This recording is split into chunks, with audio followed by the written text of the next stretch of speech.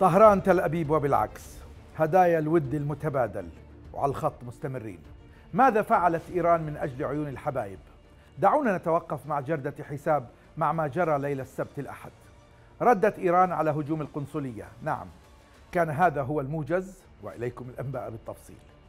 فبعد أن حوصر بيبي نتنياهو في زاوية العزلة الدولية مجرم حرب وقاتل أطفال ومسؤولا عن أفعال دولة مارقة وخارجة عن القانون الدولي والقانون الدولي الإنساني عاد أمام العالم الذي فضحه في ستة أشهر بسبب غزة عاد الضحية.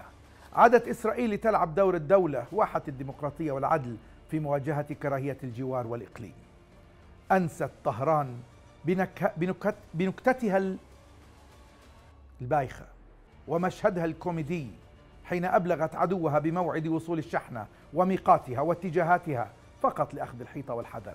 أنست العالم غزة التي تئن تحت الضرب المتواصل. أسبوع كامل نسي العالم غزة وانشغل بحكاية الهجوم المسرحي الذي لم يصب هدفا واحدا.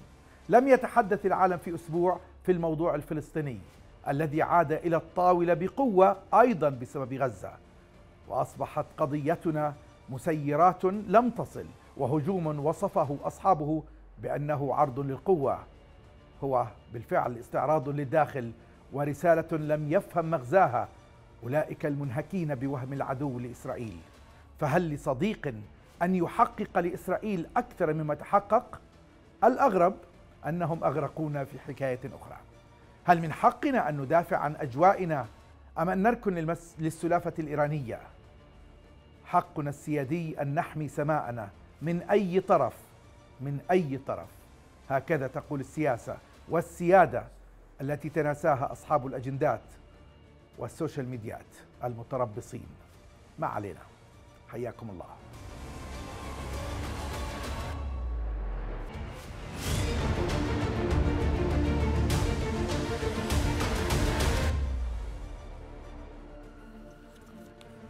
أهلا بكم. جلالة الملك من المفرق. أمن الأردن وسيادته فوق كل اعتبار. الأردن لن يكون ساحة معركة لأي جهة وحماية مواطنينا قبل كل شيء. جلالته خلال استقباله رئيس مجلس الشورى السعودي ضرورة إنهاء الحرب على غزة وأهمية حماية المدنيين وزيادة المساعدات الإنسانية وإيصالها بشكل مستدام.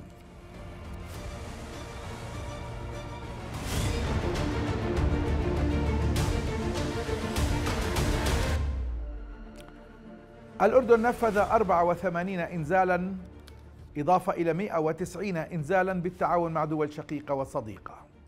والهيئة الخيرية الأردنية الهاشمية سيرت قافلة مساعدات غذائية جديدة إلى غزة مكونة من 75 شاحنة بالتعاون مع القوات المسلحة الأردنية الجيش العربي.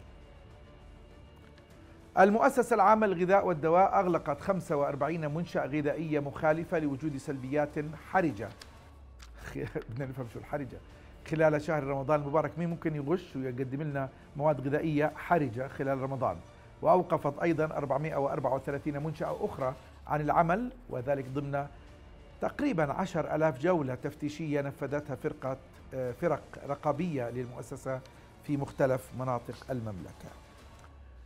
المؤسسة العامة للضمان الاجتماعي أعلنت أن الحد الأعلى للأجر الشهري الذي تحتسب تحتسب اشتراكات الضمان على أساسه تحتسب اشتراكات الضمان على أساسه للعام الحالي 2024 أصبح 3612 دينار في حين كان العام الماضي 3538 دينار بزيادة بسيطة جدا. أما دائرة ضريبة الدخل والمبيعات فقد أعلنت أن 30 الشهر الحالي هو آخر موعد قانوني لتقديم إقرار ضريبة الدخل الخاص بالسنة المالية 2023 ودعت المكلفين لتقديم إقراراتهم تجنبا لتعرضهم لغرامات. بعد رمضان وزارة التنمية الاجتماعية أكدت أن مديرية مكافحة التسول نفذت 417 حملة لمكافحة التسول جرى خلالها ضبط 808 متسولين ومتسول ومتسولة. في شهر أذار من هذا العام. أما مجلس مفوضي سلطة إقليم البتراء التنموي السياحي فقد أكدت أن المخالفات المرتكبة في الموقع الأثري للبتراء هددت بإزالته من قائمة مواقع التراث العالمي. لأبرز ما تداولته ال social media لهذا الأسبوع.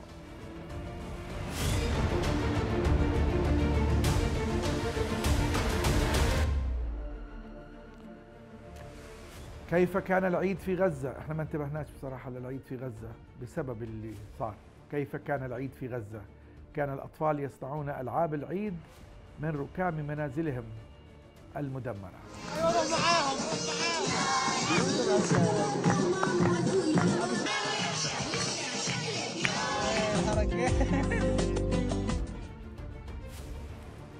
الأردن عصي وآمن هذا الترند الأكثر تفاعلا خلال اليومين الماضيين ونسور القوات المسلحة الأردنية التي تحمي سماء الأردن. القوات المسلحة قالت في بيان لها سلاح الجو قام بزيادة طلعاته الجوية لمنع أي اختراق جوي.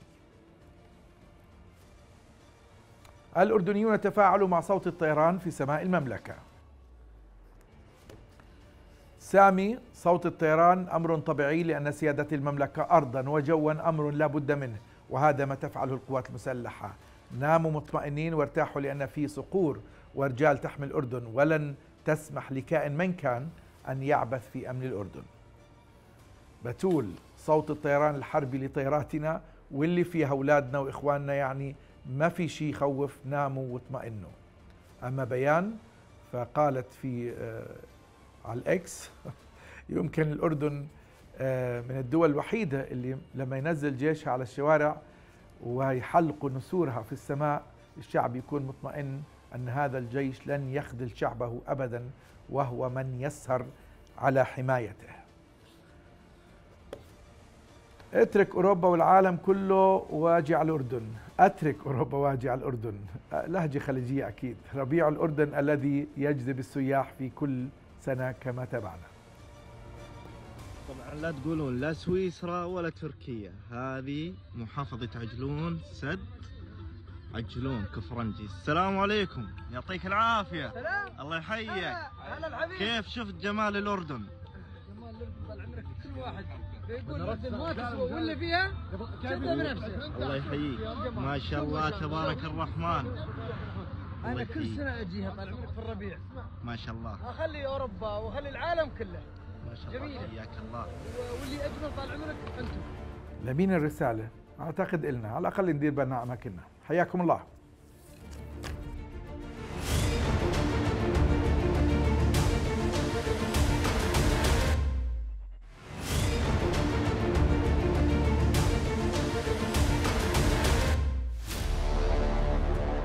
الأمل انطلق من هنا وتوج بالحسين.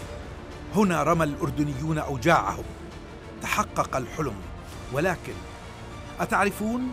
هنا تجلت عبقرية اللغة ليؤول الألم أملا. ماذا عن الإنجاز في ظل الضغط؟ عن العمل بين طوابير الانتظار؟ أين غاب البحث العلمي في عالم يركض؟ فيما نحن نلملم الجراح. وسط الاعفاءات والإجراءات نغطي وجع الناس بفن الممكن والمتاح. أين نجحنا؟ وكم أخفقنا؟ ماذا نريد لبيت الأردنيين وحضن آلامهم؟ ماذا نعمل لنعظم الإنجاز ونفتح نوافذ الأمل باسم الحسين ونفس رجال بيحيي رجال؟ مركز الحسين للسرطان أين هو اليوم يا دكتور؟ عاصم منصور المدير العام في مواجهة نيران صديقة. إلى أين نتجه اليوم؟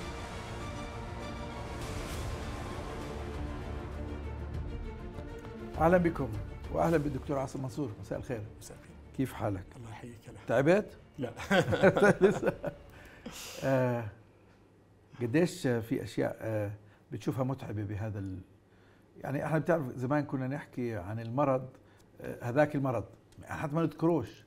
اليوم أنتم وسط المعمعة آه قديش هذا متعب؟ مساء الخير اولا لك. ولمشاهديك. والله متعب جدا دكتور هاني يعني متعب نفسيا لكن بآخر النهار لما تطلع إنه آه، بعد هذا التعب هنالك بسمة استطعت إنك ترسمها، هنالك ألم استطعت إنك تمسحه، فإحنا الكلمة بسيطة من مريض من نعم. مرافق مريض يزيل يعني تعب يوم كامل ويوم طويل، لكن آه، آلام الناس وهمومها دائما متعبة نعم. والتعب النفسي أكثر بكثير وأتعب من التعب الجسدي نسب الشفاء. اكيوريت أرقام محددة. قديش حققتوا نسب شفاء نسب الشفاء الحمد لله عالية لكنه هو عبارة عن يعني صندوق أسود لما نحكي عن نسب الشفاء كنسب دون الخوض في تفاصيلها. نسب الشفاء عند الأطفال مختلفه عن الكبار نسب الشفاء تختلف حسب المرض وحسب درجة المرض. آه، نعم. لكن ما أستطيع أن أقوله في عناوين اولا نشرنا الآن وبدأنا ننشر نسب شفائنا مركز الحسين للسرطان هي تساوي وتضاهي نسب الشفاء المنشورة في الولايات المتحدة والغرب. هذه كقاعدة. فعلا؟ هذا رقم حقيقي. هذه منشورة بمجلات علمية. إحنا عندنا سجل آه، مؤسسي اللي هي قديش للسرطان النسبة عموما يعني بال مثلا إذا الأطفال إحنا بنحكي عن 70% لكل 70%. الأمراض. ترتفع ل 80% بأنواع معينة و90% مرضى اللوكيميا. بالنسبة للكبار بشكل عام لو أخذناها هي تتراوح ما بين ال 60 إلى 65%. إلى 65. لكن في المراحل نعم. المبكرة في سرطان القولون، سرطان الثدي، نعم. آه، حتى سرطان الرئة، اصبحنا نتكلم عن نسب شفاء تقارب ال 90%. والله نعم. يعني هذه أرقام مهمة صحيح. آه، لو آه، يعني زي ما بيقولوا الإخوان في المصريين في الدراما تبعهم لو حكيت الفانوس وطلع لك المارد وقال لك شبيك لبيك دكتور عاصم كل شيء بين إيديك إيش بتحلم في متعلق بمركز حسين المدجج بالأعداد الناس الثقة للضغط والله الأحلام كثيرة وكبيرة. لا هو مش راح يستحمل أحلام كثير واحدة على الأقل أحكي. واحدة بجزء يعني حلم واحد لو أروح أروح على إحنا وضعنا أنفسنا لا شك على خارطة العلاج السريري والرعاية السريرية على مستوى العالم هذا لا خلاف عليه يعني يذكرها البعيد والقريب في كل- كل المحافل أنا برأيي الخطوة الأهم اللي بدنا نخطوها وأحلم أن نخطوها أن نضع اسم مركز الحسين للسرطان على خريطة عالم السرطان بالعالم في مجال الأبحاث. في لو- مجال أنا نعم، كنت بحكي في نعم. البداية صح. غاب البحث العلمي وسط المهمة اللي أنتم فيها. صحيح مش قادرين تعملوا بحث علمي. بدأنا خطوات إحنا بدأنا بالأول أنت عارف أنت لا تستطيع أن تبني قاعدة لبحث علمي دون أن يكون عندك رعاية سريرية نعم. نعم. قوية وصلبة وتستند نعم. إلى قاعدة قوية بدأنا ذلك ثم بدأنا ببناء برضو آه، بنية تحتية لحماية المريض عند نعم. الأبحاث تدريب الباحثين آه، تدريب من يساعد الباحثين ثم انطلقنا إلى الخارج ساعدونا يا ناس أنت ما نعم. تقدر تبدأ من الصفر بدأت الناس تساعدنا لكن وبدينا عندنا الآن آه، يعني ننشر إحنا سنويا يعني العام الماضي الحمد لله نشرنا حوالي 260 بحث من مركز حسين السرطان نعم عندنا حوالي آه، ال- العدد التراكمي للتجارب السريرية الدوائية تجاوزنا الثمانين لأول نعم. نعم. مرة لكن هل أنا راضي عن ذلك لا أنا قطعا غير راضي نعم. أنا أطمح إنه شيء أكبر نعم. يعني أنا صايب بشعر بغيرة شديدة بسبب تعرضي وسفري دائما وعملي يعني جزء من شغلنا في القاهرة تجربة 57 73 57 53 تجربة غريبة جدا. اولا موضوع البحث العلمي موجود بقوة. اثنين يا أخي نسبة يا دكتور نسبة مشاركة الناس في دعم هذا ال- ال- المشروع الضخم أدى إلى أنه يفتح فروع في محافظات أخرى. إحنا كان سؤالنا طب ال- اللي مصاب لا سمح الله هو أو واحد عائلته في معان أو الكرك أو الطفيله ليش يضطر يجي هون ويتعب سؤال مهم. يعني خليني احكي بالأول عن 57 57 زملائنا وحقيقه أنهم طبعاً. مميزين في مجالهم. بمجال الأبحاث أنا لهم ميزة أظن آه، 57 استفادوا من الطيور المهاجرة المصرية. المركز الأمريكي الكندي 100% ال- ال- الآن أعداد كبيرة من ال- المصريين الموجودين بالغرب طبعاً. يجوا يداوموا ست أشهر بمصر وست أشهر بالغرب أو ثلاث. يعني لهم فورميلا معينة. بالنسبة للانطلاق للمحافظات هم سبقونا بذلك لكن إحنا الآن آه، إن شاء الله إحنا فرع العقبة سيفتتح بشهر واحد أو شهر اثنين 25 نعم. انهينا الآن الأعمال ال skeleton بحل مشاكل أهل الجنوب بدل ما يجوا يتعبوا 100% الآن راح يحل مشاكل محافظات يعني على الأقل معان والعقبة وما حولها ب 70% ل 80% من الحالات. راح نبدأ المرحلة الأولى للكيماوي للكشف المبكر نعم. للتشخيص إلى غير ذلك. المرحلة الثانية راح نمضيها مباشرة إنه نكمل ذلك إلى مرضى منومين. قديش في آه، نقص في ال- في التمويل؟ في الميزانيات. في الدعم؟ والله لأكون صادق بتمويلنا الراسمالي عادة لا نواجه أي مشكلة لا مركز. حسين للسرطان التمويل الراسمالي لأنه أنت عارف التبرعات لا تأتي للتمويل التشغيلي. التمويل التشغيلي يجب أنك أنت آه، يكون عندك دخل لتمول المؤسسه لكن. التمويل الرأسمالي نشاط زملائنا وزميلاتنا في مؤسسة الحسين للسرطان والثقة اللي بنوها والشفافية اللي بنوها. طبعا. يعني أنت عارف ال- التوسعة اللي افتتحناها بال 2017 شيء كلفتها عالمي عالمي. لكنه حقيقة بالحمد لله لم نلجأ إنه ناخذ ياخذ قرض من البنك ولا لا بدينار صحيح. الإخوان اشقائنا العرب نعم. يعني مؤسسة المؤسسه مؤسسة الحسين للسرطان والجهد الكبير للأميرة غيدة والأخت نسرين قطامش. جهد عظيم. يعني أنا بطلع كل ما كنت وبتعرف أنا بثيت حلقات من عندكم. صحيح. آه الأجنحة اللي بأسماء بعض زعماء الخليج من اخواننا القادة الخليج يعني جهد مهم. آه، يعني إحنا نعتمد على الأردنيين وعلى يعني إخواننا العرب، العرب, العرب. الآن تقريبا المكس بين التبرعات ما بين تقريبا متساوي يعني 55% من الأردن 45% من في دول في الخليج. تبرعات بالأردن؟ نعم 55% من تبرعاتنا ما عدا المنح الكبيرة. إذا استثنينا المنح الكبيرة اللي هي منحة الملك سلمان وشيخ نعم. خليفة هذول منح كبيرة جدا وساعدتنا إنه نبني. لكن إذا حكينا عن الزكاة والصدقة ودعم المرضى بالطبع. وغير ذلك الأردنيين يقدموا 55% والعرب 45% كثير حاولتوا تخت... يعني تقنعوا الناس انه يشاركوا في برامج تأمين متخصصة لها علاقة بالمركز، قديش نجحت؟ يعني؟ هل الناس آمنوا بإنه ادفع اليوم تستفيد بعدين ضمن برنامج التامين الخاص بال؟ الناس آمنت إلى حد ما لكن دون الطموح. إحنا الآن عدد المشتركين قارب 220 ألف مشترك. إحنا طموحنا حتى يكون عندنا نقطة تعادل ونقدر نقول نعم. إنه هذا البرنامج قابل للاستدامة. بدنا يكون برنامج وطني ويصير في عندنا مليون مشترك آه، فيه. اللي قد يكون أثر سلبا على اشتراك الناس هو شعورهم إنه هذه الإعفاءات ممكن تيجي ممكن تظلها تطول لطول ال- فأنا بدام في إعفاء مجانا ليش أغلب حالي وأشترك؟ وهذا حقيقة ممكن نخوض فيه نعم. يعني فيما بعد. أنا برأيي هذا الكلام غير واقعي وغير قابل للتطبيق وغير قابل للاستدامة. التأمين المطلوب فقط هذا النمط من التأمين أم أنتم بتحلموا بانه الحكومة تعمل نظام تأميني لكل مواطني الدولة يعني كل مواطني المملكة المواطنين؟ حلمنا الأقصى وهو الحل المثالي تأمين أن يكون. هناك حتى مش تأمين شامل هي رعاية صحية شاملة رعاية رعاية صحية. اشمل من التأمين الشامل لأنه الصحة أكثر من المرض هي ما طبعاً. قبل المرض تبدأ ما لم نصل إلى ذلك حقيقة سيبقى يعني ال- ال- النظام الصحي طب مين. مؤخر هذا الموضوع دكتور؟ والله يعني هو صارت عدة محاولات خلال الفترة الماضية ولا تعلم. يعني تبدأ المشروع ثم يتوقف ولا تعلم لماذا مين بدأ اللي. أوقفه دكتور؟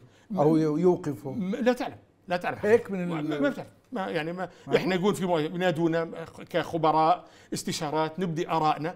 لكن بعدين تنتظر انه تتوقع إنه يصير خلال السنة هذه ولا نهاية السنة. لكن آه، يعني فشل لأنه أنت. بتحكي يتوقف في أكثر مرة يتوقف. يعني معناها في حدا يوقفه. يعني أكيد لا يمكن أكيد يتوقف أكيد, أكيد. هنالك أسباب. هل هي الاسباب اقتصادية؟ هل هي نعم. أسباب سياسية؟ هل هي صحية؟ حقيقة لا علم لدينا. إحنا يعني نأتي كخبراء بمجالنا مجال السرطان ولدينا تصور كامل. إحنا يعني تصورنا نعم. موجود واليوم نقدر نقدمه لأي حدا. طب ما حكيتوا مع الحكومة مثلا إقرار نظام خاص أو قانون لصالح المركز آه، زي دينار التلفزيون أو دينار فلس الريف أو يعني أي شيء؟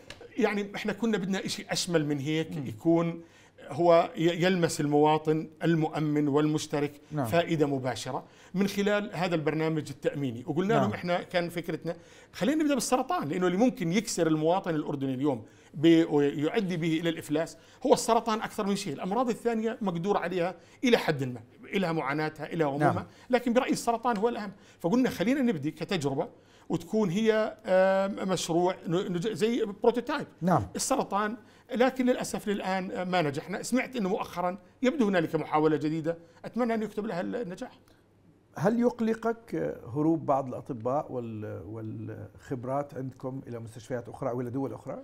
آه، يقلقني لو كان الآن في تزايد لكن الحمد لله في إحنا بالفترة. الأخيرة قليلة جدا الآن قليلة. يعني إحنا نتابعها إحنا نسبة ال- الفاقد من الأطباء في طبيب تنظير القولون أعتقد واحد منهم اللي غادر كان صح صحيح صحيح باك هيك. 3 ل 4% النسبة، النسبة العالمية من 6 ل 8%. نعم. الآن في عندنا بعد غزة وبعد كثير من الشغلات بالغرب يعني بديت ألمح ملامح هجرة عكسية ما. كنا نلمحها بسنوات بدأ يرجع العديد من الزملاء وبدينا الآن إحنا يعني من أمريكا لحالها السنة عدد نعم يعني خلال الست أشهر الماضية استقطبنا عدد جيد من الأطباء من الولايات المتحدة ومن أوروبا. أسأل سؤال آه، على خلفية أنا لك- قلت لي أسأل اللي بدك إياه لك لك مطلق أنت رح تغادر؟ إن شاء الله هل لا. في رغبة إن شاء الله لا بس هل في عروض من الخارج؟ العروض دائما موجودة أنا بعرف إنه في عرض. لكن من يعمل بمركز الحسين للسرطان لا يمكن أن يرضيه أن يعمل بأي مكان في. عرض مؤخرا من احدى الدول العربية في في, في عروض في عرض منيح يعني الواحد يشعر بالرضا إنه تقدر مطلوب. الناس تقدر الناس إنجازه لكن أنا ابن المركز ولدت بالمركز وإن شاء الله سأبقى ما شاء الله ذلك وما شاءت إدارتي وهي ترى إنه ما زال فيها فائدة وقيمة مضافة لهذا المركز. كم من واحد بيحسدك من في هذا الموقع أتمنى أن يغبطوني ولا يحسدوني. لا يغبطوك يا دكتور. مرر لي اياها اللي بيحسدوك ممن كانوا يحلموا بأنهم يكونوا في هذا الموقع أكيد موجودين. يعني موجودين. بكل نجاح هنالك حساد في مسؤولين كانوا بدهم يصيروا؟ أتوقع ذلك. أتوقع ذلك. طيب آه، دكتور آه، موضوع الإعفاءات. نعم. قديش مشكل لكم مش حالة إرباك ولكن في هيك uncertainty صورة صح. مش واضحة ب... لأنه كل واحد بده إعفاء. وحتى ل... ب... ب... هلا بنحكي عن موضوع الرفض رفض الحالات. تفضل. يعني أنا لو بدي أبدأ بموضوع واحد لإصلاح منظومة رعاية مرضى السرطان أنا ببدأ بموضوع تنظيم موضوع ما يسمى بالإعفاءات حتى هو أشمل من الإعفاءات هو التأمين. أنا برأيي ما لازم تكون حتى إعفاء. يجب أن يكون هنالك مكان ما المريض بيعرف إذا أصيب هو بالسرطان أو أصيب لازم يروح على عنوان ما. ما أدور لا على مع كل احترام للجميع على نائب أو على واسطة أو على غيره. أنا أذهب إلى مكان وهذا المكان لي الحق وينظم عملية انتقالي من هنا إلى المكان الذي الأنسب لي. أنسب جغرافيا أنسب لحالتي الصحية أنسب اجتماعيا إلى غير ذلك أن أعالج فيه. الإعفاءات حقيقة خلال فترة خبرتي وعملي بمركز الحسين للسرطان التغيير عليها مستمر. نعم. يوم في إعفاءات يوم في كرم شديد بالإعفاءات يوم في شوية تشدد بالإعفاءات. إحنا بالنسبة لنا للتخطيط للمستقبل يعني أنا حتى أخطط بدي أتوسع اليوم. نعم. أنا أتوسع على أي أساس؟ هل بكرة أنا راح يجيني ألف مريض بالسنة ولا 5000 مريض طبعاً. بالسنة ولا 4000 لو أنا عندي مؤمنين وعارف أنا إنه عندي مليون مؤمن مليون مؤمن فيهم ألف إصابة متوقعة أنا ببني استراتيجيتي على ألف إصابة على ألف بالسنة. طبعا. لكن إذا أمري مش بيدي لا بحسن في عارف. ضبابية آه طبعاً. الصورة ضبابية طبعاً. ولو أنا أشتغل كمان على أسس business وهي مش عيب أنا بعرف حسب شطارتي عندي marketing عندي طبعاً. سمعتي عندي ناس فأنا وشطارتي يا الناس تجي عندي أو أنا بنافس غيري لكن اليوم أنا بحالة حقيقة صعبة ممكن يجيني أعداد اليوم اللي بيجيني وإحنا راح نحكي عن رفض الإعفاء الرفض طبعا أكبر بكثير من طاقتي الاستيعابية طبعا لكن أنا لا أستبعد إنه بعد أشهر من الآن يجيني أقل مما أنا أستطيع أن اخذه، طب بدي أعين ناس من برا؟ هذا الطبيب اللي بدي نعم. اخليه يجي من أمريكا يترك شغله ويجي عندي، وراح أدفع له طبعا رواتب كبيرة، هل أنا بدي أعين اثنين بالتخصص الفلاني ولا ثلاث ولا واحد؟ حقيقة هنالك ضبابية آه وغير قابلة حكيتوا للاستدامه مع الجهات. ب...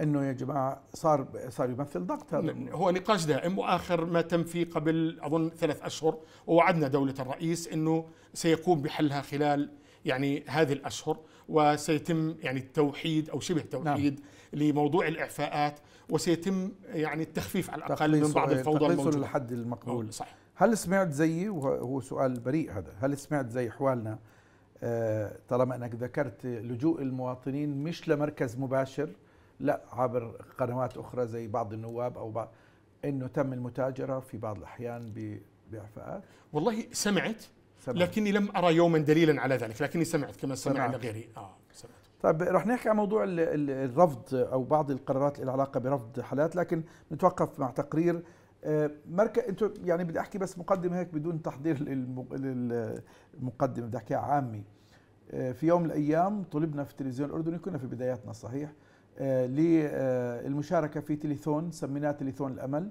وأنا صحيح بدي آه، أوجه آه، يعني أترحم على استاذنا الكبير الاستاذ زيد فريز اللي كان وراء هذا المشروع. تليثون الأمل اللي الأردنيين هم من بنوا مركز الأمل الذي آه، أصبح تخليدا لذكرى الحسين مركز حسين للسرطان أين كان؟ أين هو اليوم في هذا التقرير؟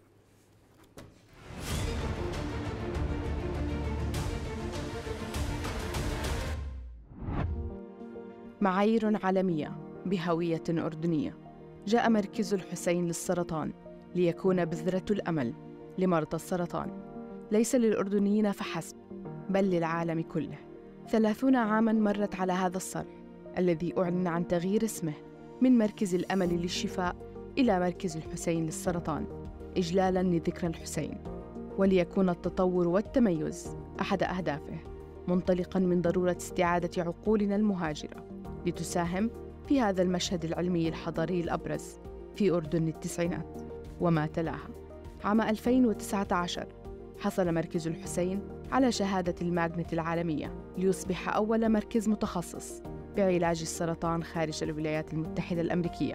يحصل على هذا التقييم العالمي بعد أن صنف في المرتبة الأولى بين الدول النامية والسادسة عالمياً كمركز متخصص في علاج السرطان. أكثر من ستة آلاف مريض سنوياً يتلقون علاجهم في مركز الحسين من داخل وخارج الأردن بالإضافة إلى الحالات الاستثنائية. آخرها كان مشهد غزة حين فتحت أبواب المركز لأطفال غزة المصابين بالمرض. ليس العلاج والوقاية والتوعية فقط بل للصحة النفسية والمختبرات والدراسات. أتعرفون ماذا فعل مركز الحسين بنا؟ تخلصنا مرة وإلى الأبد من عبارة هذاك المرض. أصبحنا نسميه باسمه بعد أن كنا نؤمن بفكرة اللي بيخاف من البعبع بيطلع له اعترفنا بالمرض وآمنا بإمكانية الشفاء منه. طوابير الناجين تشهد. ولكن طوابير أخرى تتزاحم وسط الضغوط وتزايد الأرقام والإمكانات. أين وصلنا اليوم وإلى أين نذهب؟ الأرقام هي المعيار اليوم. وهي التحدي الماثل أمام مهمة الغد. فرح البدري لنيران صديقة.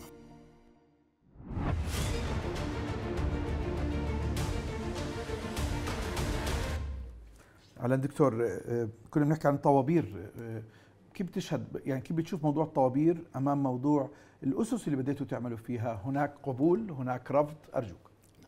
يعني المركز له قدرة. والقدرة آه، محدودة زي أي مركز بالعالم. عدد حالات السرطان بالأردن يعني ليس بالسهل التعامل معه من خلال مركز واحد. يعني إحنا نتوقع أنه كان بال 2023 لامس الرقم حوالي 10000 حالة. إحنا نعم. السجل الوطني للسرطان آخر تقرير كان 2019 كانوا يحكوا عن 7600 أنا أظن الآن وصلنا 10000 نعم. إحنا عالجنا من ال 10000 5100 تقريبا.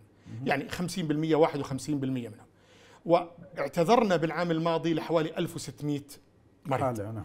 آه للأسف هي أصعب حال لو تسألني ما الذي يشغلك خلال ولا واللي يضايقني خلال الدوام اليومي هي الناس التي تتظلم من رفض الحال من الرفض طبعا. الناس هي تعتقد إنه لها الحق بسواسية إنه نعم. يعالجوا بهذا المركز. ولن تقنع مريض تقول له والله طيب؟ أنا قبلت 5000 غير أقول لك أنا شو دخلني؟ طبعا. طيب الخم... إذا ما قبلتني أنا أنا ما بفرق معي لو قبلت 100 شو الأسس دكتور؟ الآن الأسس ت- يعني لها عدة متغيرات. إحنا من الخبرة اللي بنيناها خلال 20 سنة صرنا نعرف المريض ونوع تشخيصه ودرجة تشخيصه وامراضه الأخرى غير السرطان ما الذي يتطلبه هذا المريض نعم وشو اللي عندنا من مقدرات المركز اللي موجودة وعليها الضغط فهنالك لجان كل مرض له لجنة هذه اللجنة تدرس كل الطلبات أنا لا توقيع لدي لي على هذه الطلبات يعني لا ترد المدير العام أي من هذه الطلبات المريض نعم. يقدمها الكترونيا بتروح للجنة الرئه لجنة. لجنه الثدي لجنة كل لها لجنة اللجنة بتنظر ضمن معايير معينة هذا المريض. مدى احتياجته إنه يدخل للسرير. المريض اللي ما بده سرير أنا أسهل لي هذا بيجي على العيادة ما عندي مشكلة فيه. قديش بده مثلا إذا عندي اليوم أزمة على غرف العمليات. إحنا عملنا العام الماضي حوالي 7200 عملية جراحية. عندي 10 غرف عمليات محجوزة لشهر إلى الأمام. إذا أجاني مريض بده عملية لازم تنعمل خلال أسبوعين ما راح اقبل. إذا مريض بده أشعة علاجية 40% من مرضى السرطان بده أشعة علاجية. عندي اليوم أنا ست مسارعات خطية ما زال عندي قائمة انتظار على الستة. هيجيبنا كمان اثنين راح نفتتحهم. نعم. يعني جلالة الملك إن شاء الله خلال شهرين راح يفتتح التوسعة الجديدة راح نجيب كمان مسارعين خطيا هنا أي مريض بده أشعة علاجية خلال شهر زمان؟ طبعاً. بقول لا يا عمي. إذا بده اشعه علاجية بعد شهرين أنا بقدر اجدول بقبله فهي حقيقة القبول يتم اولا هي عملية ديناميكية يتم مراجعتها باستمرار. اليوم صار عندنا dashboard. ب- وأنا بمكتبي بعرف كل مريض بأي مرحلة وصل طبعاً. من رحلته. هي موضوع المرحلة الأساس في الرفض ال stage four؟ واحدة المرحلة. آه اثنين مدى حاجته يعني بعض مرات المرحلة تكون stage four lung لكن أنا عندي بالرئة ما عندي مشكلة فيه بجيب أنا نعم. 40% تقريبا أو 38% من مرضاي هم بالمرحلة الرابعة نعم. لكن إذا بدي يجيني كمان أقبل 50% الآن أنا هذا المريض بدي نعم. يتأخر بجوز شهرين يبدأ علاجه حالته لا تستحمل هذه واحدة اثنين المرضى اللي يعالجوا بمراكز وأنا متأكد إنهم بروتوكولاتهم نفس بروتوكولاتنا وزملائنا وعالجوهم هذا أولى أن يكمل. المرضى اللي بدأ علاجه جيته عندي راح تقلل أخي أنا بدي اعيد بس الناس مصرين على مركز الحسين لن يقبلوا حتى لو. قلت لهم في كل المستشفيات لو. لو أقسمت لهم كل آه. الاقسام لن يقتنع بذلك. وهذه جزء من معاناتي اليومية والله. نعم. آه، يعني سؤالي صحيح من أحد المواطنين اليوم كان بعث لي إنه غالبية المراجعين من أهل القرى والمدن المجاورة عشان هيك سألت عن موضوع الجنوب والفرع الآخر.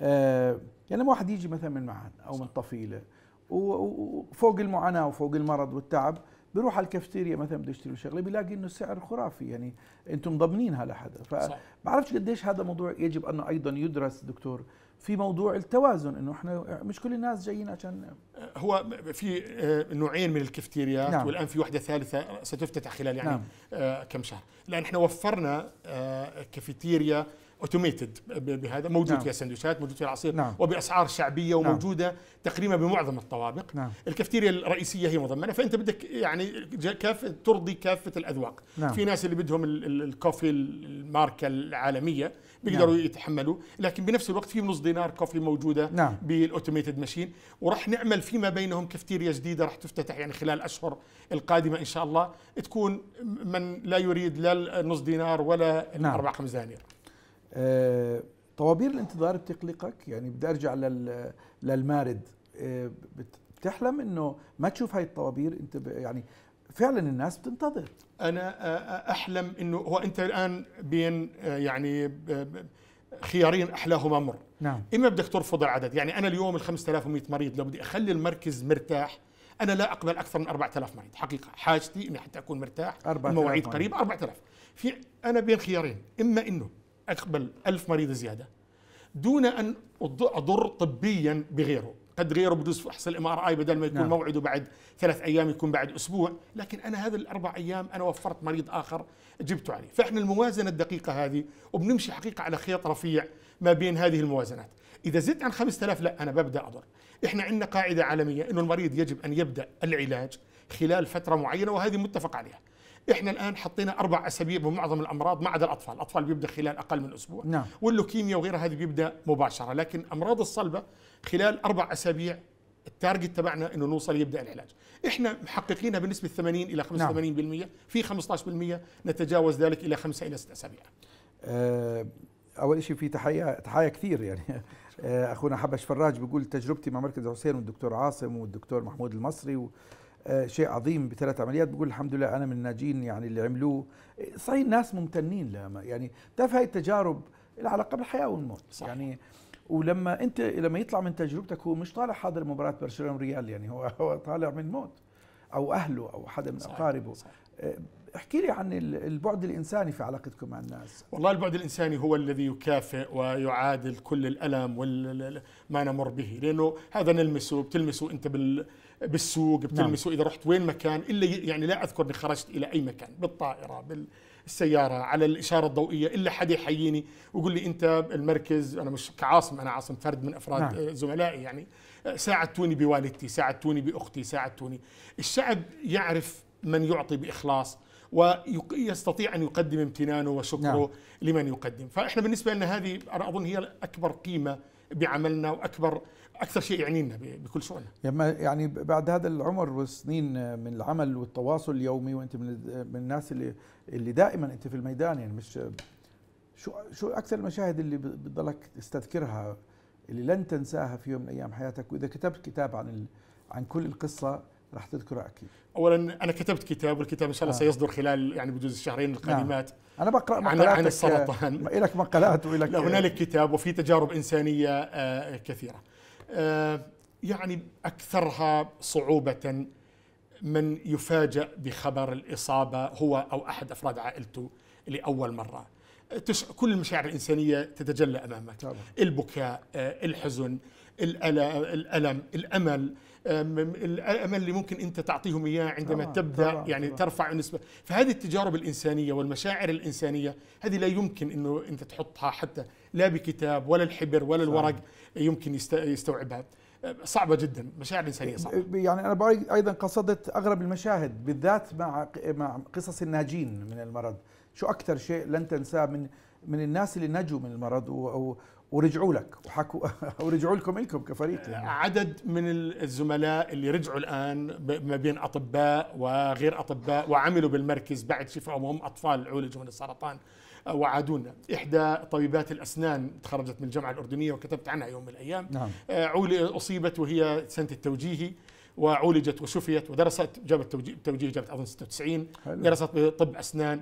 وعادت إنها لما تحكي تجربتها وعشرات هذه التجارب حقيقة آه، هذول الاناس عادوا ناس يرجعون بأطفالهم نعم. يتزوجوا بعد الإصابة بالسرطان ويعود حامل طفله يشكر طبيبه يشكر طبعاً، الفريق طبعاً. آه، موجود. ناس تعرفوا على بعض مريضين للسرطان بالمركز المركز. بالمركز آه، وتزوجوا وأنجبوا؟ نعم نعم نعم موجودين عندنا بأسمائهم آه. موجودين آه، مع الكم الهائل من من المرضى والطوابير واللي زعلانين من الرفض لأنه ما بدهمش يتفهموا موضوع ال stage 4 مش stage 4 في واسطات؟ آه، يعني إنه مكان بلا واسطات 100% ما في شيء. يعني قديش حجم الواسطات اللي بتجي؟ نحن لسنا المدينة الفاضلة. نعم. لكني أستطيع أن أزعم أن هنالك نظام وهنالك سيستم يجعل من الغالبيه العظمى بعتقد بدي أعطيك رقم 95 98% تمشي ضمن الأسس الموجودة.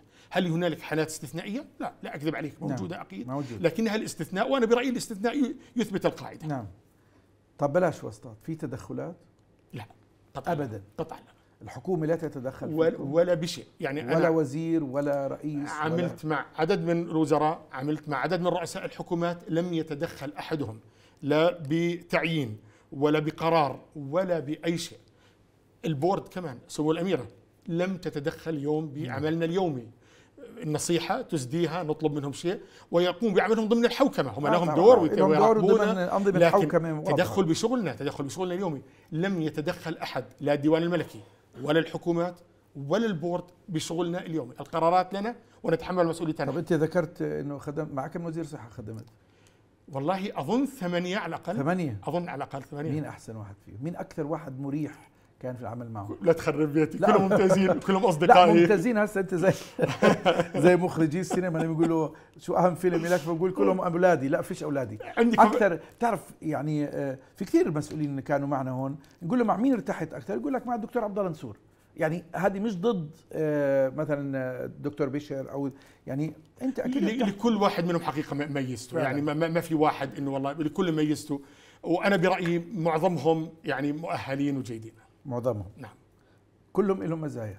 كلهم لهم مزايا. فيش حدا ما لهش مزايا والله لا ما أعتقد إن طيب، في حدا ما له okay. مزايا آه، إذا حكينا عن التجربة المصرية دكتور آه، إنهم بيستفيدوا من الأمريكان Egyptian association لل cancer والك- والكندا الكنديان مبدو. صح إحنا وين عالميا؟ يعني وين خطوطنا؟ مع مين فاتحين إحنا؟ عشان موضوع الاستدامة. صحيح. إحنا على مستوى العالمي علاقاتنا الأبرز لنا علاقات متشعبة لكن الأبرز واللي فيه منها فائدة حقيقية بعيده عن التوقيع والبروتوكولات وكذا. مع مستشفى سان جود بتينيسي بأمريكا تينيسي. هذا مستشفى الأطفال. هذا يعني كل ما قمنا به وانجزناه بالأطفال كان بمساعده سان جود من بروتوكولاتنا الأولى للتدريب للمنح لكل ما نناقش الحالات إلى غير ذلك. هذا أهم محطه نعم. المحطة الثانية برنسس مارغريت في كندا بتورنتو في كندا نعم. هذول انشأوا لنا يعني قسم الاشعه العلاجية. الآن يوجد فيه 12 إلى 13 طبيب مختص كل واحد عنده sub specialty نعم. معظمهم تدريب برنسس مارغريت. وساهموا ماديا بدعمهم ببروتوكولاتهم بكل شيء. الثالث مستشفى أم دي أندرسون بتكساس. حقيقة هذول أهم ثلاثة بالولايات المتحدة. بأوروبا ما يعادل معهد السرطان الأمريكي بسموه DKFC هذول بنعمل معهم بمجال الأبحاث مش بمجال بالأبحاث. السرير بالأبحاث بالوطن العربي لدينا علاقة جيدة مع الجامعة الأمريكية ببيروت في أبحاث في تدريب بيننا نعم. في اجتماعات سنوية أو نصف سنوية ومع قطر قطر biomedical institute for research اللي هو نعم. معهد قطر للأبحاث للأبحاث نعم. آه على صعيد التمويل آه في آه، جهات في أمريكا وكندا بمولوا بمعنى أنه اللي هو ال donation مباشر ال- ال donation مباشر. قليلة لكن إحنا. اللي بنعمله ننافس غيرنا بال... على ال grants على المنح على المنح المنح عادة بتكون لها علاقة عندك مشروع عندك project أنت تقدم له نحصل على الكثير من المنح لكن المنح تربط عادة بمشاريع إما مشاريع بحثية أو آه، بناء قدرات capacity building أو بالنسبة لسان جود بالذات بعض المرات يدعموا الأطفال الأقل حظا آه، بعلاجهم بزراعة نخاع عظم للاجئين سوريين لغزة لغيرها. سان جود الوحيد الذي يدعم بمجال العلاج. تقنيات عندكم التكنولوجي. قديش اليوم أنتم بتقدر لأنه حتى في التقرير بنحكي إنه مكانتكم ال ranking تبعكم درجة متقدمة عربيا يعني اقليميا وعالميا. آه هذا ينطبق على التكنولوجيا؟ التكنولوجيا أنا برأيي قد تكون هي الأميز يعني بعد الكوادر البشرية هي الأميز عندنا بعد ولا قبل؟ آه. والله لا أنا أفضل الكوادر البشرية الكوادر آه البشرية است- مش بتفضل هل الكوادر لا افضل إنه جواب الكوادر البشرية آه. الكوادر البشرية نعم. على أعلى آه, مستوى آه, آه لأنه استثمرنا فيها يعني استثمار هائل خلال السنوات آه،. الماضيه ال- ال- ما في جهاز يعني عشان ما أكون مش 100% لكن ما في جهاز مهم يكون اليوم موجود بأي مكان بالغرب بيكون عندي أنا ثاني يوم. يعني في جهاز من المشروع اللي آه، حكيت لك عنه قبل شوي اللي راح يفتتح إن شاء نعم. الله بشهر ستة. جهاز يدمج ما بين جهاز الرنين المغناطيسي والأشعة العلاجية. أها. هذا كان خيال عمره ما حدا. أظن سيكون الأول بالوطن العربي. هذا ثمنه كلفنا فوق الخمس ملايين. ولو تحسبه تجاريا آه، ما راح أستفيد منه راح يخسرني آه طبعا. لكن هذا بحياة المرضى راح يعطيني دقة راح يعطيني اج على أي حدا موجود بالمنطقة بذلك. المجلس بكل أنواع المرض وافق بكل مباشرة. أنواع المرض آه، يعني. عادة هو بنستخدمه لعدة أمراض أكثر شيء لأمراض العنق والرقبة ثم لسرطان البروستيت لكن ممكن استخدامه بعدد أمراض. وجير غرفة زراعة النخاع. كلفتنا نعم. حوالي 6 ملايين بجهاز ملاحي نادر جدا. قديش ميزانيتكم دكتور أنتم؟ الميزانية ال- الت- عادي يعني الكاملة بتحكي عن إحنا بسطرين هي 11 مليون إحنا هذول مثلا بالغالب بيجوا تبرعات تبرعات. الاجهزه آه. تبرعات يعني إحنا 80% من المصاريف الرأسمالية بتجينا تبرعات تبرعات. نحن ننفق عليها 20% إحنا مشكلتنا تكون عادة بالميزانية التشغيلية. الميزانية التش- الرواتب ال- الرواتب الأدوية المستهلكات آه، الكهرباء. المية. اللي هي بتؤمن من ميزانية هذه يجب أن تؤمن من ال revenue تبعنا من, من- مصادر دخلنا. في revenue عالي؟ في- دخل عندكم؟ الدخل ج- جيد. قديش نسبة الناس بيدفعوا آه، آه، بيدفعوا بدل ال- العلاج قليل عندكم؟ قليلة جدا. قليل. من, الأردنيين طب ال revenue من وين بيجي إذا قليل؟ لما الحكومة تحول ما هي بتدفع. آه هي آه ال revenue من الحكومة. وعندنا عدد من نسبة مع- معينة من المرضى بيجونا من الدول العربية. إما مؤمنين من دولهم أو من شركات تأمين. برضو هذول بشكلوا يعني جزء معقول من هذا. ومؤسسة حسين للسرطان من خلال برامج رعاية. طبعا برامج رعاية. برنامج رعاية تحديدا هو اللي اللي حكيت عن التأمين أنا. بدول الخليج وبالعالم العربي سمعه المركز حسين قد وين بتشوفها أنت؟ عالية جدا. يعني لما نروح على أي مؤتمر إحنا مدعوين يعني متحدثين على وين ما كان بهذا. ولما نكون موجودين يعني يسمع لنا وصوتنا حقيقة مسموع وتقديرنا بالوطن العربي عالي جدا بالذات بالخليج العربي نعم هذا السؤال مش لإساءة ولكن سؤال للتوضيح أكثر شيء بجوز لفت انتباهي لما قرأت الخبر يعني من فترة أنه في كان في إشاعة حول فساد مالي وإداري طبعا هيئة مكافحة الفساد نفت بس فعلا كان في حديث عن هذا الموضوع والله صدر خبر. وأنا غير صحيح آه. آه. المركز لم يكن لم يبعث أحد منه إلى مكافحة الفساد آه. آه. يعني ولم يشعر الحكي. لا لا المركز لم يعني ما, ما صار أنا تفاجات قراته على أحد المواقع لكن في الداخل ما في يعني ما لا لا, إحنا مش على هاي القصة هلا هل عادي أضمن إنه لا عمره ما راح يكون واحد بياخذ له ليرتين من هو ولا خمسة ما بضمن شيء لكن أضمن. أنا أضمن أن هنالك يعني جهات رقابية مضبوطة أنا يعني الناس يراقب عليها جهة أنا جهتين أنا من اللي بيسموهم ال big fours هذول الكبار لا، الأربعة طبعاً. أنا عندي اثنين عندي لا لا بديش أذكر أسمائهم لا بديش أعمل دعاية لا، لكن عادي، لا. أنا عندي ديلويت وإرنس أند يانج كل واحد ماخذ جزء وهذول سنويا تقريرهم لل board إلى غير ذلك فإحنا يعني شفافين وموجودين بحيث إنه إذا كان في خلل لا أضمن الخلل أن لا يحدث بكرة أو بعد بكرة لكني أضمن أن هنالك mechanismات إنها تمسك هذا الخلل وتحاول أن نعم. يعني تغلقه لكن لم يحدث حقيقة عندنا يعني منيح اللي أكل ذكرت هاي خدمنا وضاح بالقاوي على أنا سميان.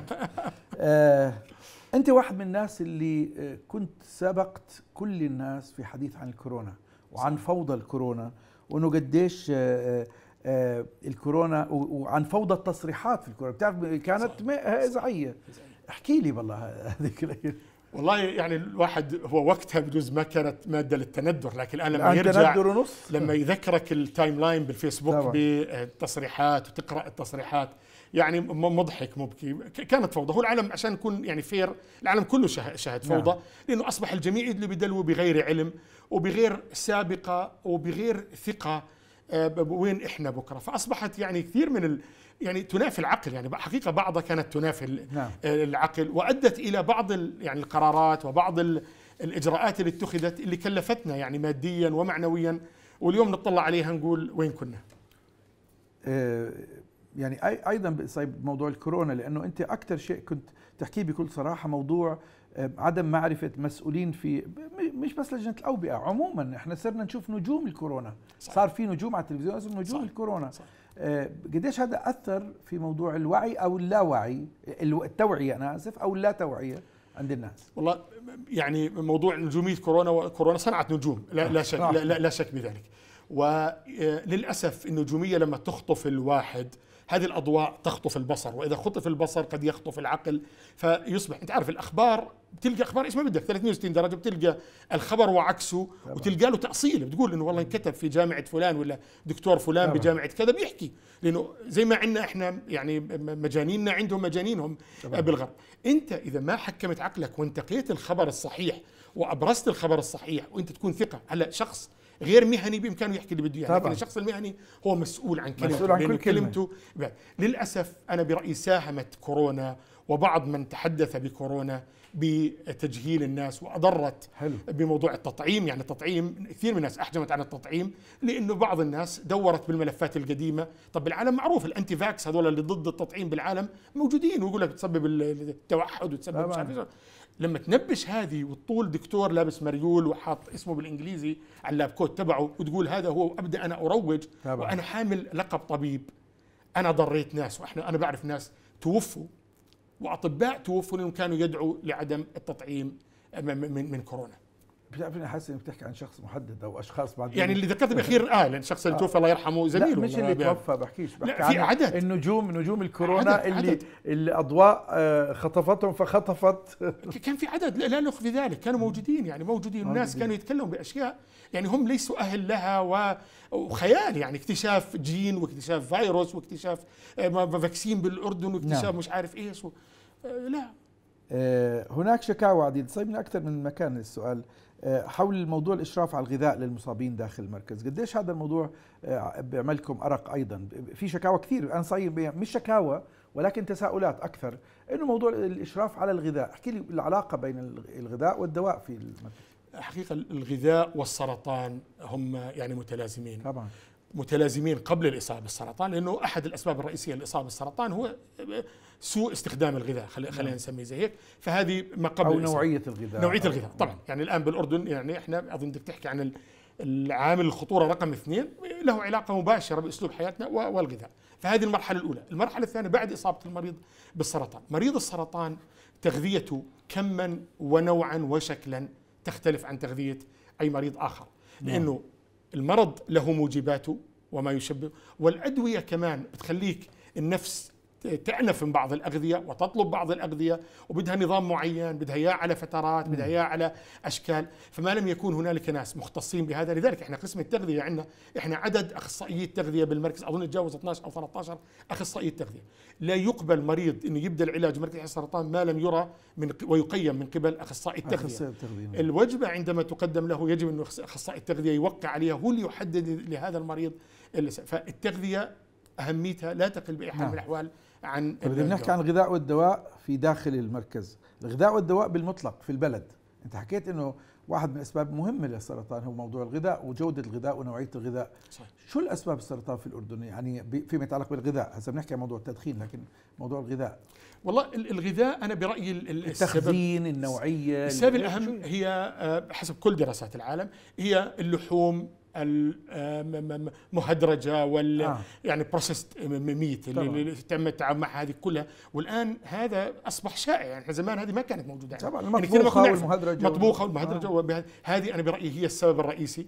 المواد الحافظة اللي موجودة إذا لم تكن مضبوطة هي قطعا سبب الإسراف في نوع معين يعني حتى اللحوم العادية إذا أسرف فيها هذه المشاوي والستيك والمش عارف إيش هذه إذا أسرف فيها بالذات إذا احترقت وهذه آه. آه. هذه سبب رئيسي بالإصابة الاحتراق. بالسرطان آه طبعا طبعا هذه يعني لها سبب أنا ما أقول لا يأخذوها الناس لكن الإكثار منها. الاعتدال الإكثار. اعتدال آه، في كل. شيء اعتدال في كل شيء الاعتدال آه، تناول الأدوية ال- الإكثار في- إحنا أكثر شعب في الدنيا بندخل على الصيدلية بنقول شو نازلين الصيف هذا تناول الأدوية آه، هو حقيقة فوضى تناول الأدوية. فوضى هو تناول. مشكلة كبيرة. نواجهها قد لا يكون أكثرها بالسرطان لكن ما بعد الإصابة بالسرطان. إحنا بنعرف مريض السرطان السرطان يسبب بذاته نقص المناعة. أدوية السرطان تعدم المناعة. يعني إحنا حتى نعم. نعم. تقتل الخلايا السرطانية تقتل السليمة. هذا المريض يصبح عرضة لكل بكتيريا وفيروسات طبعاً. وكل هاي المخلوقات المتوحشة اللي بتستأسد عليه. بدك تدور له على مضاد حيوي الآن أصبح كثير من هذه البكتيريا مقاومة لمعظم لكل المضادات. ليش؟ الحيوية. لأنه أنت بتروح أي واحد منا إذا على التهاب فيروسي لا يحتاج إلى شيء شريطين اعطيه الآن بطلوا يكتفوا بالأشرطة آه. صارت الإبر الآن فأصبح الأنواع اللي لازم نخبينها ولازم تكون يعني ممأسسة وفيها قوننة يعني وحوكمة إنه لا تصرف إلا بوصفة وبفحص زراعة دم أو فحص زراعة بول ومن قبل مختص أصبحت تعطى بفوضى. الآن كثير من مرضانا يجيك فحص الزراعة وبيقول لك والله بس مضاد حيوي واحد هذا الجرثومة حساسة له والذي يقتله الناس فكر الذي يقتل مريض السرطان؟ ليس سرطان. نادرا ما يقتل السرطان مريض السرطان. مريض السرطان عادة ما يتوفى إما بالعدوى إما بنزيف أو أي من مضاعفات إما مضاعفات السرطان غير المباشرة أو البيئة أو المحيطة الأدوية في والمحيطة. ال- البيئة المحيطة اللي فيه. 100% اللي هي العدوى أو الأدوية أو ال- 100% 100% فاصل ونعود في هذا الحوار الصحيح اللي يعني هو ما كنت أتخيل في يوم من الأيام انه نقعد نحكي بهالصراحة حول موضوع كنا دائما هيك نتجبجب في الحديث عنه لكن هذه الحقيقة وهذا هو الوضع الملموس. بعد هذا الفاصل في حوار مع الدكتور عاصم منصور. حياكم الله.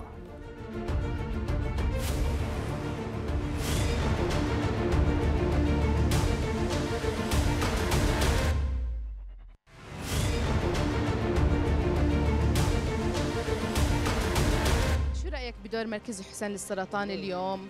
وكيف بتشوف إنجازاته؟ والله إنجازات ممتازة وموظفين ممتازين وخدمات ممتازة. والله بالنسبة لي شايف إنه يلعب دور كبير بالمجتمع. هذا أول شغلة. الشغلة الثانية والله الدكاترة كانوا متعاونين معنا كثير لدرجة ما توصل. دور الأطباء كتير كويس وفعال. التمريض كتير تعاملهم جدا يعني مريح وبيستقبلوا أي أي شيء يعني من ناحية المريض. إذا كان عنده يعني أي شيء عادي ما بكله ولا بمله ممتاز جدا كخدمات وما شاء الله يعني بقدم خدمات طبية ك يعني جميل وراقي للمرضى وللزوار ولكل شيء ما شاء الله يعني متميز يعتبر درجة أولى. بصراحة إيه، كل واجبات بعطوك إياه على أكمل وجه. مستحيل واحد يطلع من مركز الحسين مش ماخذ واجبه كامل. أنا كان عندي أوستوساركوم ورم آه، سرطان بعظمة الفخذ الأيسر وكان الدكاترة كثير كثير كويسين معي.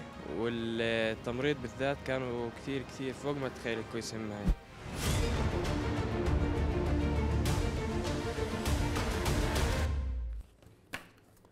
أقسم بالله العظيم أننا حاولنا أن نجد شيء سلبي. ما لقيت حاولنا كل جهدنا بصراحة من باب التوازن يعني لكن لم نجد. فريق العمل الشباب فرح والشباب ما لقينا شيء سلبي. آه، في في حالة رضا عام يعني مذهلة. الحمد لله. يعني إحنا أكيد يعني كل عمل إلا يشوب قصور نعم. ولا ندعي الكمال لكن نحن نفخر هذا الشهادات اللي يشهدوها السؤال موضوع لا يشوبه إنه طب من وين جاي الشكاوى؟ في كثير شكاوى آه، مراجعين على موضوع الضغط وال والدور والطوابير في في شكاوى ما في شك صحيح أنت مقدم خدمة بالأخير نعم. وخدمة لها علاقة بالإنسان ولها نعم. علاقة بالسرطان ومرض معقد جدا المريض إحنا خلال رحلته على الأقل بجوز أول ثلاث أشهر من رحلته سيتعامل مع 100 شخص مختلف بالمركز. ولها تشابك ولها علاقات. فإلا يكون في هون أو هون شائبة ما. لكن أنت تحكم على على ال system ككل. وتحكم هل عنده هذا ال system يملك أدوات إصلاح ذاته. نعم. إحنا اولا يعني بجوز اللي ما بتعرفه دكتور هاني نعم. إحنا كنا بالأول آه، قياس رضا المرضى نعمله من قبل موظفي المركز عندنا قسم خاص. نعم.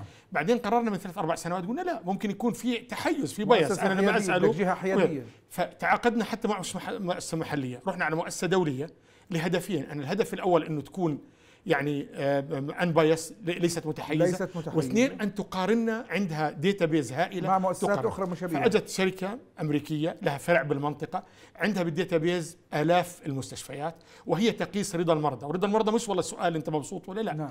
كل قسم بقسمه وكل قسم بأسئلته وهذه تعرض لنا نحللها ونحاول نعمل action plan كيف بدك تساعده هلا انت تصلح هون ممكن يظهر عندك خلل نعم. آه، بكرة لن نكون كاملين لا اليوم ولا بكرة لكني أزعم إنه قدر الإمكان نحاول أن نستجيب لملاحظات ال- ال- المرضى والمراجعين نحاول نسمع لشكواهم نحاول أن نصلح قدر الإمكان آه، لكن سيبقى هنالك قصور يعني اوصف لي الحالة اللي في داخل ال- المركز على صعيد التعاون بين بعض يعني فعلا لأنه برضه بتعرف في دائما حكي ودائما قصص و- حول موضوع آه، الخلافات في في أكثر من مكان مش بس بالمناصب القيادية ولكن على أكثر من مكان احكي لي الصورة العامة يعني لا يوجد مكان ما يكون فيه هنالك يعني خلاف هون. اختلاف بوجهات النظر أنت بتعرف تخصصات مختلفة طبائع مختلفة أعمار مختلفة نعم. أجيال مختلفة لكن أنت الأهم إنه يكون التعامل مهني إذا أنت نعم. ضمنت المهنية إحنا ناس مش جاي هنا يحب ويعشق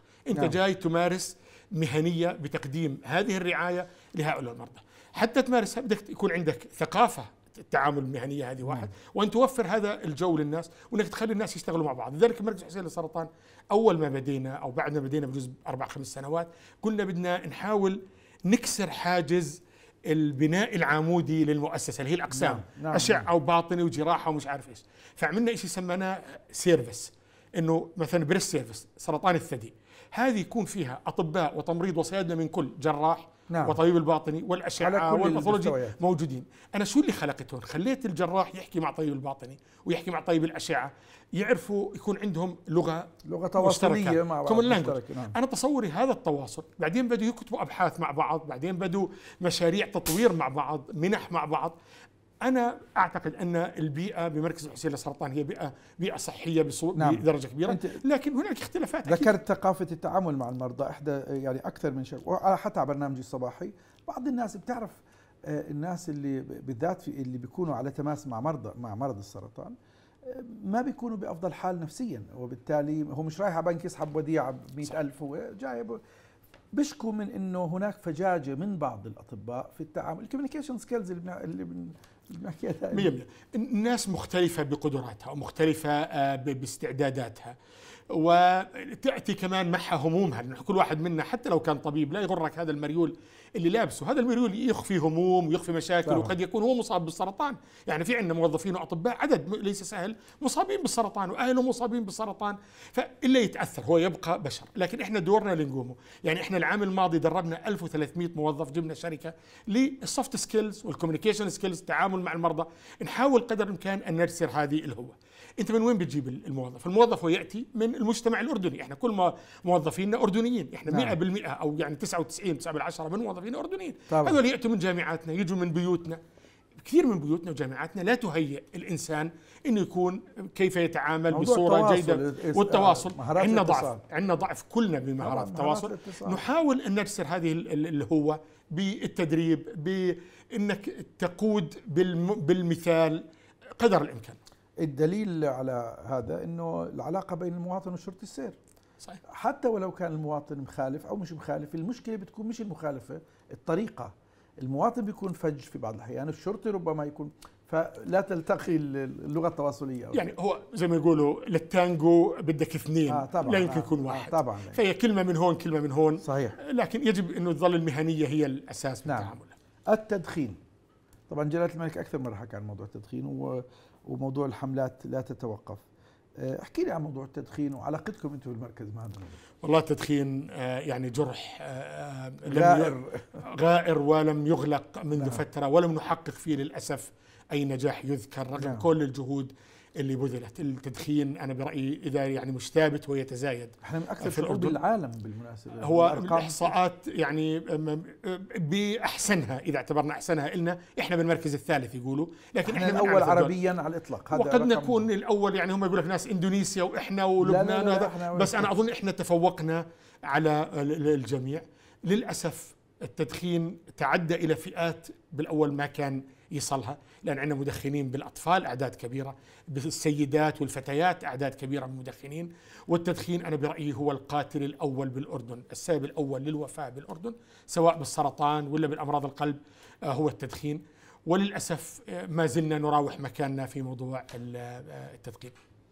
أنا صحيح طلبت من طلابي أنا ب- يعني في عدد من المواد بدرس ففي مادة اسمها فن الحوار أو مهارات ال- المقابلة. فطلبت منهم وجهوا أسئلة. فأنا راح أختار سؤال من رغد. بتقول ما هي الاستراتيجيات المبتكرة التي يمكن اتباعها للريادة في موضوع الوعي والتثقيف في أساليب الوقاية من السرطان اليوم بعد كل هالتجربة اللي عملتها؟ شكرا رغد على السؤال وهي سؤال- سؤال مهم. أنا أظن أحد الأشياء اللي فشل فيها القطاع الطبي والصحي حتى على مستوى العالم أنه ما استطاعوا يواكبوا التطورات في التواصل وتوصيل المعلومة التوعوية المعلومة الطبية ما زالت جافة غير محببة للقلب لذلك يرفضها الإنسان ويتقبل الخرافة. وكنا نحكي عن كورونا ليش قبل آه، الخرافة؟ آه. لأنه معلوماتنا كانت جافة. صرنا نحكي سحر أيام. مية بالمية. فأصبحت هذه أكثر آه، يعني إغراء للإنسان لل- يتقبلها. آه،. وإحنا كأطباء وعاملين بالمجال الصحي ليس لدينا لا الخبرة ولا الدراية الكافية أن نوصل المعلومة للشخص المستقصد. أنا الفئة اللي بالأعمار فوق ال 50 وال 60 ليست الفئة اللي عمره اللي بده يبدأ التدخين اليوم اللي عمره 10 نعم. و12 سنة فأنا برأيي يجب أن يكون استراتيجية تواكب العصر باستخدام أدوات العصر اللي موجودة حاليا وإنها تكون تارجتد موجهة للفئة المستهدفة نعم آه، أيضا الأخ محمد ربابع بيقول آه، تجربتنا آه، والده الله يرحمه؟ بقول تجربة لن أنساها مع الدكتور عاصم ومع المركز كانت جهود يعني غاية في الغرابة من كثر ما كبيرة كانت يعني في في تقدير. الناس صحيح تقدير كبير تقدير كبير. تقدير كبير. صحيح لكل لكل جهودكم نأتي إلى غزة. والمشهد اللي أنتم عملتوه إحنا حكينا في التقرير إنه آه، آه، يعني كانت بعض الحالات الاستثنائية ومنها غزة التعامل. احكي لي التجربة والله تجربة غزة تجربة مؤلمة، إحنا تجربتنا مع غزة بدت قبل العدوان آه، عدوان نعم. أكتوبر، لأن تعرف غزة القطاع الصحي هو محاصر ومدمر قبل مدمر من يوم يعني يوم. قطاع كامل في مليونين بلس. عدد حالات السرطان تشخص بين 2000 ل 2200 حالة سنويا، ما عندهم ولا جهاز أشعة علاجية اللي لازم 40 يعني 8 80 40% من هؤلاء المرضى يجب أن يخضعوا له 800 مريض لأشعة علاجية، ما عندهم هذا مش موجود، ما عندهم أدوية، ما عندهم تشخيص، ما عندهم أطباء، حاولنا ندرب لهم أول شيء اشتغلنا على القدرات، دربنا عدد من الأطباء، فمعظم الأطباء اللي كانوا يعملوا بقطاع السرطان قطاع غزة هم خريجين من السرطان، طبعاً. وأحدهم للأسف استشهد بقصف سيارته بعد. بداية العدوان بفترة. بعدين بدينا نجيب بعض الأشخاص إنه كانوا وين المنفذ لهم؟ إنه يروحوا على الضفة الغربية، إسرائيل لم تكن تسمح لمعظم سكان قطاع غزة بالذهاب إلى الضفة الغربية أو القدس، فكنا نجيب بعضهم نعالجهم بالمركز، ثم جاء العدوان، العدوان حقيقة أول يوم صارت هناك تعليمات واضحة لنا سمو الأميرة ومجلس الأمناء نعم. إنه بدنا نحاول كيف نجيب بالذات بعض الأطفال بدنا نركز وليش الأطفال النسب نعم. الشفاء عالية عندهم طبعاً. وبإمكاننا ننقذهم سريعا ضمن الأولويات. انطلقنا مع شركائنا مع آه، سانجود مع منظمة الصحة العالمية ومع إحدى المؤسسات الخيرية الفلسطينية تعمل هناك بدينا نتواصل وحاولنا إنه نجيب عدد من الأطفال وواجهنا بعقبات شديدة جدا من قبل الاحتلال إنه يخرجوا هذول الدولة هون حقيقة التعاون كان هائل جدا يعني الخارجية صحيح لازم الخارجية والداخلية. والد... آه يعني والخارجية أنا مية بدي بالمية. تحية صحيح صحيح. للسفير مدير العمليات السفير سفيان القضاء يعني يعني الاخ سفيان بدع سفيرنا بالقاهرة الدور أوه أمجد العضايلة. يعني معالي أمجد العضايلة راح زار المرضى بمستشفى 57 اللي تحول على الأردن. راح. شافهم هو وتواصل وكذا. معالي وزير الداخلية حقيقة يعني كنا على التليفون يعطينا ثاني يوم الموافقة فما قصرت الدولة الأردنية إنه نجيبهم. تمكنا حتى الآن ضمن كل هذه الظروف الصعبة إنه أحضرنا 35 مريض معظمهم من الأطفال وكلهم بلشوا العلاج. للأسف أجت الحالات متاخرا يتاخر العلاج. لما تسمع لهم بعضهم معظمهم ما معهم وثائق لأنه هدمت بيوتهم وذهبت يعني. آه، أحد الحالات اللي يعني مؤثرة جدا شاب والده فلسطيني ووالدته أوكرانية. آه، أصيب باللوكيميا مريض اللوكيميا هذا أنت لما تقول لوكيميا بعالم السرطان هذا الحالة ال emergency والأصعب مريض للعلاج بالسرطان هو اللوكيميا. لا تنتظر هاي. مشى من أقصى شمال قطاع غزة لجنوبه مع جدته الأوكرانية على رجليه. ولأنه معه جدة أجنبية يبدو سمحوا له إنه يتحرك زمان ما كان ممنوع.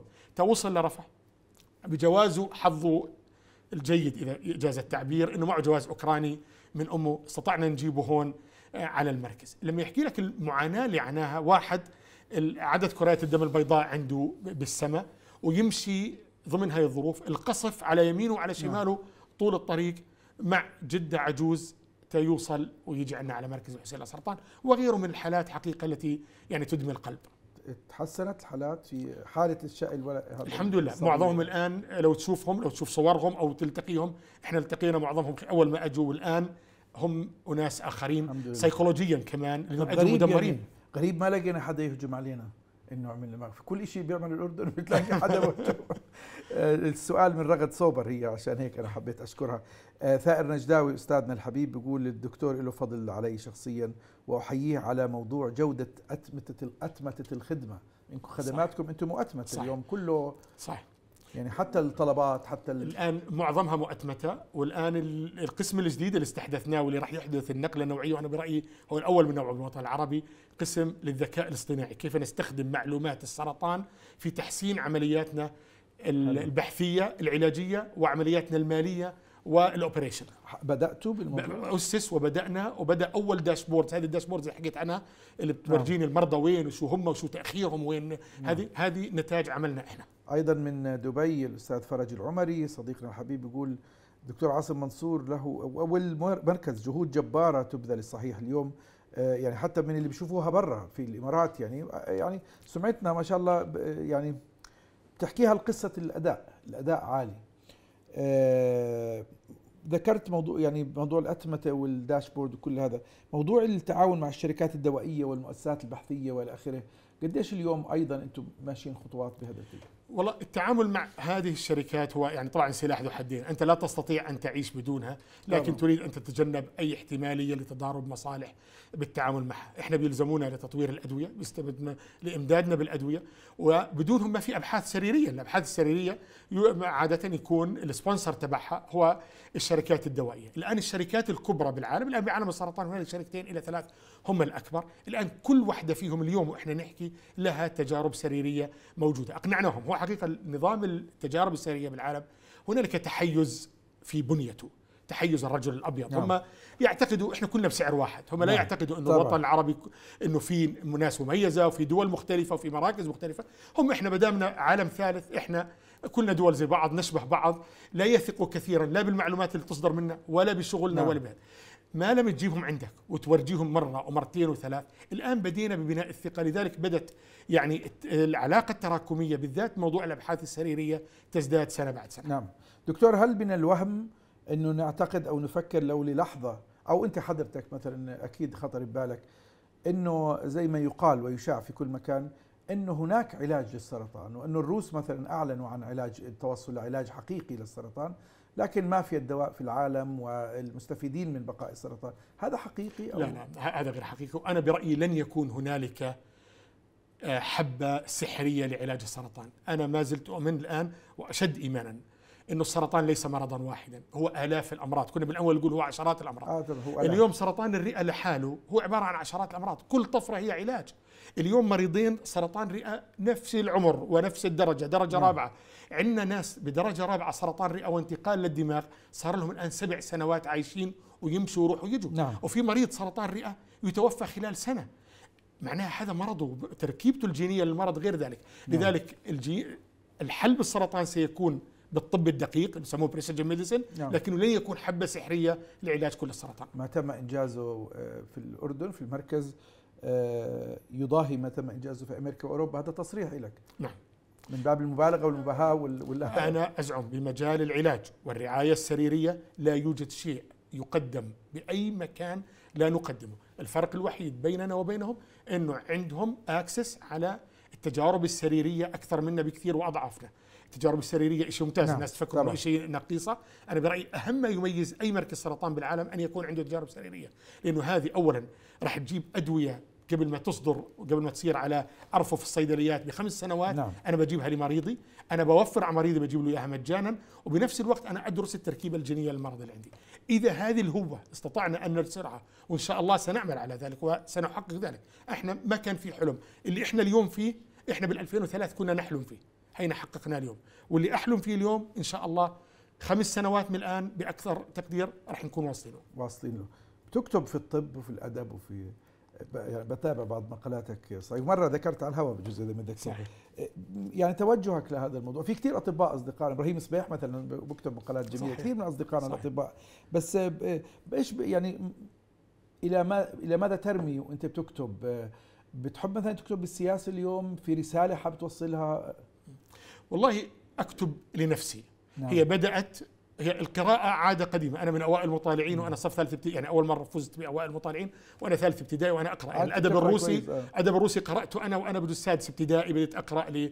لدوستويفسكي وتشيخوف وكذا بمكتبة المدرسة، زمان المدارس أنا ابن مدرسة حكومية،. المدارس الحقومية كان لديها من المكتبات أنا أظن المدارس الخاصة الكبرى اليوم ما, عندها مكان متوفر بمدرسة السحاب الثانوية اللي أنا درست فيها. حقيقة. فأنا قارئ الكتابة جاءت أنا برأيي هي جزء من التنفيس. يعني الضغط الذي آه، نمر فيه طول اليوم وكذا. تريد أن تفرغ بشيء أنا لا أرسم. آه، أشاهد الرياضة ولا ألعبها. آه، وين أنا نقطة قوتي؟ بالكتابة فأكتب. لأنه إحنا بنقول فاقد الشيء لا يعطيه. فبقى لما الواحد يكون عنده مخزون بالضرورة بإمكانه يكتب. أما اللي ما عنده مخزون بحكي لطلابي إذا ما بتقرأوا كتبكم تكتبوا. بالمية. لا يمكن. آه أكيد سمعت زيي. أنا بحكي سمعت عشان ما يكون سؤالي مباشر. إنه جومل الشيخ حمزة منصور الله يعطيه الصحة والعافية بتعيين ابنه الدكتور عاصم مديرا لمركز حسين.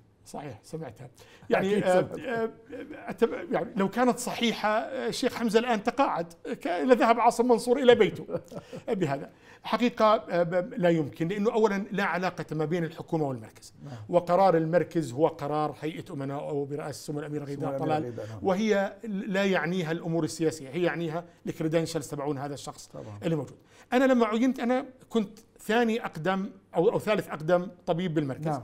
كنت نائب المدير العام قبلها قبل ما يكون الشيخ حمزة نعم.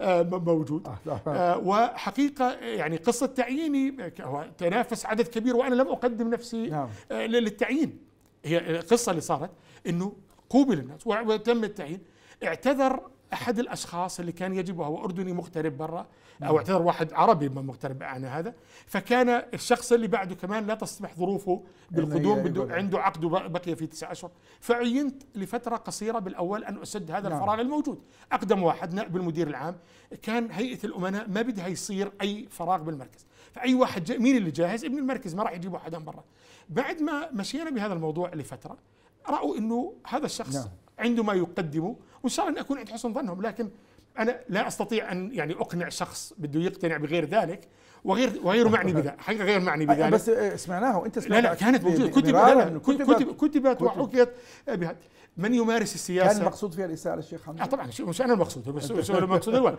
هو الوالد وأنا بنحكي دائما من يمارس العمل العام والسياسة بده يكون جلده ثك. بدك تتحمل كل شيء أو يروح يقعد ببيته لوحده.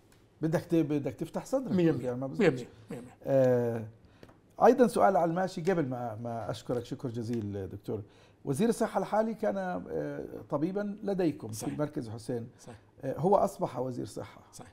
آه، بتعتقد إنه وكان بالمناسبة هذه هذا خبر هذه معلومة أنا أعرفها تماما كان يحلم بأن يصبح مديرا لمركز حسين يعني كان واحدة من الأشياء اللي أنا بعرفها عن قرب يعني الإشكالية أو العلاقة أوصف لي إياها. والله علاقتي بمعالي دكتور, دكتور فراس, فراس، نعم. علاقة مهنية جيدة. نعم. آه، هو زميل. وهو محترم على وهو- الشخصي رجل وهو محترم وهو. مؤهل جدا عشان أنا اكون يعني أنا برأيي رجل محترم. أنا برأيي مؤهل كمان. هو محترم واشهد جداً، وأشهد بنظافته كمان. نعم. أنا عملته لسنوات وهو مؤهل أنا برأيي. السي في تبعته حقيقة أنا ممتازة. نعم. علاقتي معه كانت مهنية. كنا نختلف كثيرا. نعم. لكنه لم نفقد الاحترام يوما. لم يرتفع صوت أحدنا على الآخر ما هو الاختلاف- لم نتجاوز لكن اختلفنا كثيرا نعم. على أشياء لها علاقة بالعمل. لسنا اصدقائيا لا أنا لم أزر بيته ولم يزر بيتي حقيقة نعم. آه بهذا. لكن زملاء وعلى علاقة آه جيدة. شيخ حمزة بيحضر الحلقة؟ أف- آه. آه، بخبره أنت. آه.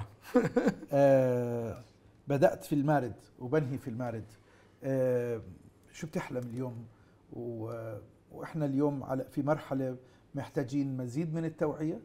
محتاجين مزيد من بتعرف ال- إحنا بنحكي إحنا الستابرن هدول الناس اللي زينا زي اخواننا العنادة انه نكسر هذا الصخر انه موضوع التدخين موضوع يا أخي الغذاء موضوع ال... بإيش بتحلم وخصوصا إنه كل هذا ربما يخفف عليكم لأنه الوقاية تخفف عليكم ال- مية مية. يعني الواحد إذا معي أنا دينار وأود أن أستثمره بمجال الصحة ومجال السرطان أنا أستثمره بالوقاية. لأنه هو الوحيد الذي يعطيني عائد استثماري بالصحة وبالمال أكبر من أي شيء ثاني. أنا هذه الحنفية حتى أخفف من تدفقها بدي أروح على أصل النبع. أصل النبع يجب أن أجفف أصل النبع. أصل النبع اللي هي عوامل الخطورة. وإحنا برأينا 40% من السرطان يمكن تلافيه إذا ما حاولنا تجفيف النبع. يظل كمان في 20 ل 25% بالكشف المبكر. وإحنا خلينا نتولى ال 30 40% اللي ظلوا ساعتها بدل ال 10000 خليهم يصيروا 3 4000 مركز حسين للسرطان كفيل بهم. شو أجمل أجمل رد فعل تعبير قيل لك خلال السنوات الماضية من أي جهة أو من أي شخص على الأداء. بتعرف موضوع مركز حسين يعني أنت مش مدير مستشفى عادي. أي مدير مستشفى بيقول له يعطيكم العافية السلام عليكم. بس أنت هون أنت بتحكي عن إنقاذ حياة بتحكي عن آه، ناس تنجو وناس ما بتنجو.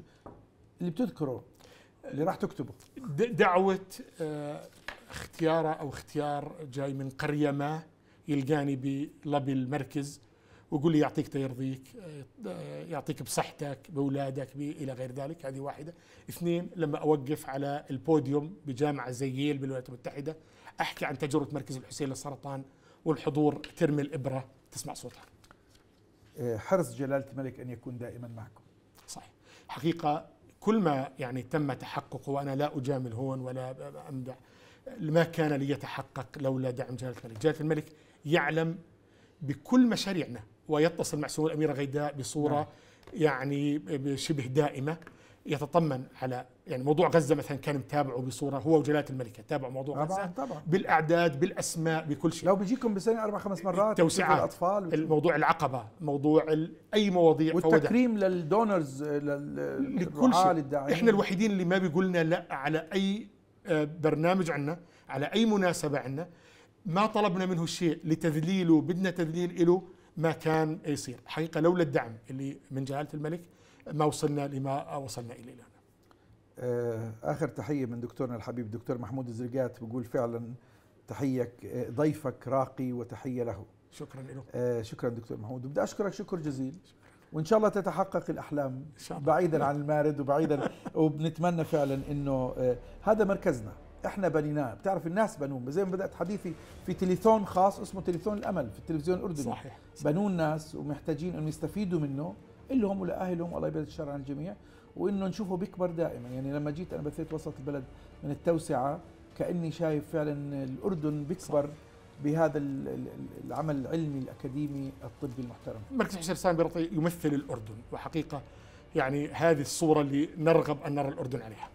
شكرا جزيلا والتحية لمؤسسه آه، مؤسسة الحسين للسرطان آه، سمو الأميرة غيداء بدي أحييها وست نسرين قطامش وكل فريق العمل المتطوعين المتبرعين شكرا دكتور. شكرا لك. شكرا, شكرا. لك دكتور شكرا. آه، عاصم منصور وشكرا لكم دائما رسالة شكر نوجهها لشركائنا الداعمين لنا لرسالتنا في نيران صديقة على الأسواق الحرة الأردنية.